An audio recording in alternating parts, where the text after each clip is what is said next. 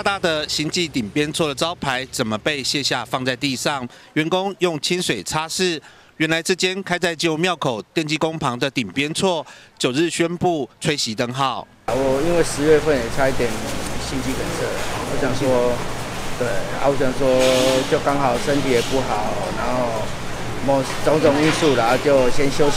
墙上留有祖父、爸爸一手打拼下来的事业，传承到第三代，但因为健康因素，老板说真的必须休息。而店内忙着收拾，有员工一做就是二十年，相当不舍。一定会的啊，我老板、员工都很好啊。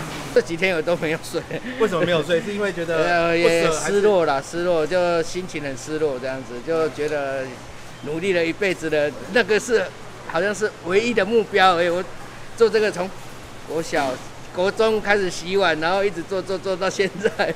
顶边错原本是福州的传统米食，是第三代老板的祖父在一九三七年迁台后开始创立。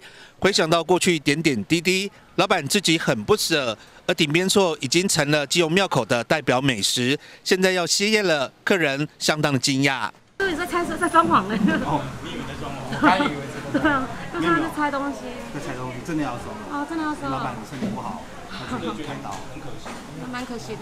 几次的调整，就是以前哦用大骨熬汤，然后近四十年来哈，我爸的时候就把它改成用鱿鱼、香菇跟小香肠，就没有油的，它吃起来比较清淡，也比较那个。刚开始改这样子。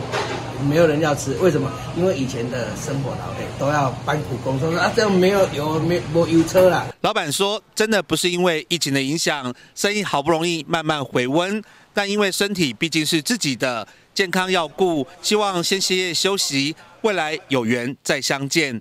记者黄少明这种报道。